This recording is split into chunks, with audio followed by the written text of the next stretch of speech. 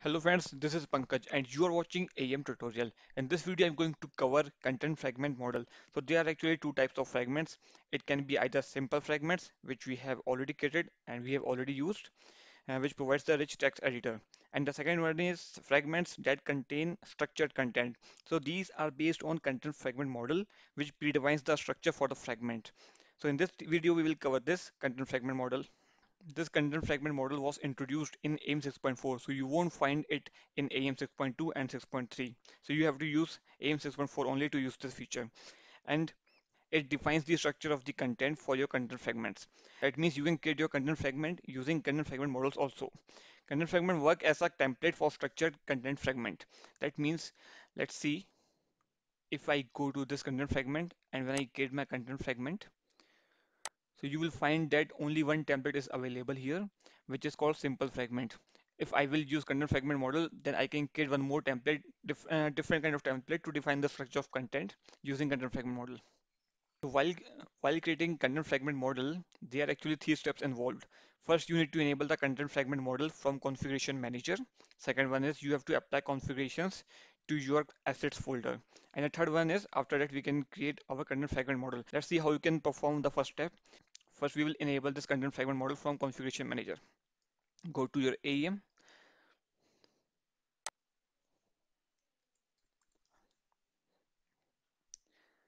So in your AEM, go to the tools. Here within this general, you will find this configuration browser. Here, go to create, create a configuration and name it as demo content fragment model. And here enable content fragment models. Click on create. Your configuration has been created successfully. Now the second step is to apply configurations to your assets folder. So let's do this. Go to the assets. Here we have this assets and we have files and our assets are stored in demo training, this demo site. Click on here and here this is our content fragment folder and go to the properties. So in the properties, go to the cloud services and here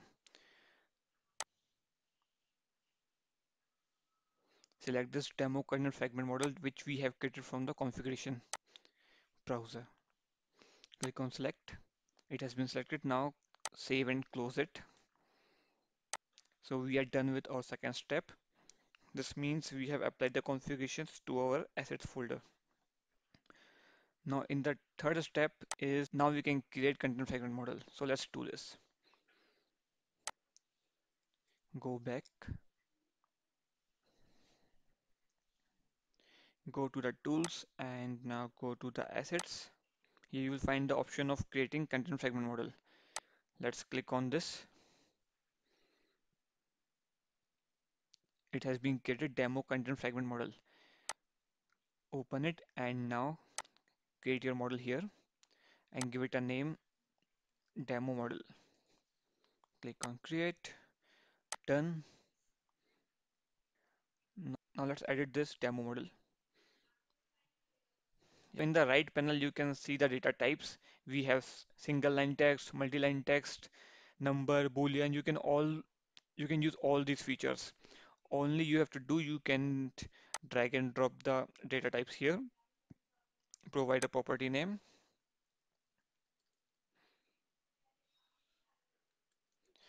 Multi-lines. You can also delete this and you can add some more. So this way you can structure your component in these fields. Field label. You can also provide a placeholder. You can see the placeholder typing here. Similarly, you can also use the number. You can name it number. And uh, suppose I want to use this checkbox, you can also use that. You can define the property here. Checkbox. Let's default be true. Now click on save. This way I can design the template for my content fragment. So this is ready now. Let's go back to the assets again. In the assets, go to the files,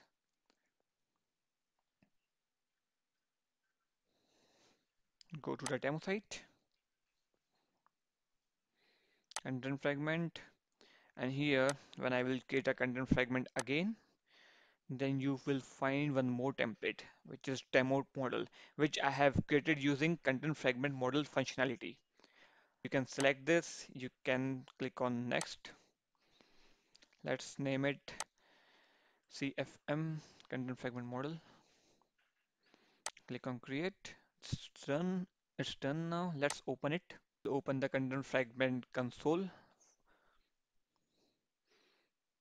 So here you can edit the content, whereas the simple fragment provides just only the text editor. But here you can predefine the structure for the fragment. You can provide this number also. So this way I can structure my content using this content fragment model functionality. Click on save and I can also create a new versions. So this content fragment model is ready to use. Let's jump to the site console and let's use it in my page. So in my demo site, now select the English page and click on edit. Here, let's use the content fragment. Select this content fragment and you can go here and here within the demo training we have content fragment and we have this CF model which we had created. Click on select. Now click on OK. Now you can see the content of your new content fragment model. I hope now you understand the term content fragment model in AEM 6.4. Thank you friends. If you enjoyed this video, subscribe my channel, like this video and share this with your friends. Thanks again for watching.